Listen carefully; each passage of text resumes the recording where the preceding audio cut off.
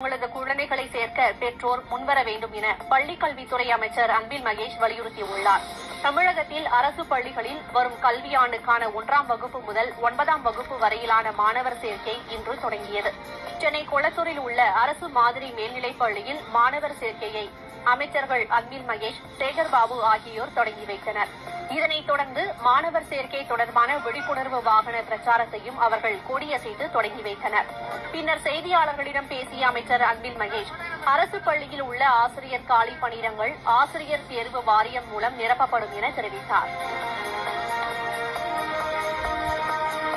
அரசு பள்ளியை நோக்கி இன்னைக்கு வருகின்றவர்கள் அதிகம் வருகிறார்கள். இன்ஃப்ராஸ்ட்ரக்சரும் அதே போன்று டீச்சர்ஸ்க்கான பற்றாக்குறையும் இருக்குது. அது தேவைப்படுது என்று சொல்லியிருக்கோம். சட்டமன்றத்திலே சொல்லும்போது டிஆர்பி மூலமாக ஆனுவல் காலண்டர்ஸ் மூலமாக கிட்டத்தட்ட ஏற்கனவே பேசும்போது பத்தாயிரத்தி நூற்றி நாற்பத்தி மூன்று ஆசிரியர்களை எடுக்கின்ற அந்த பணியில் நாங்கள் இன்னைக்கு முழுமையாக ஈடுபட்டு கொண்டிருக்கிறோம்.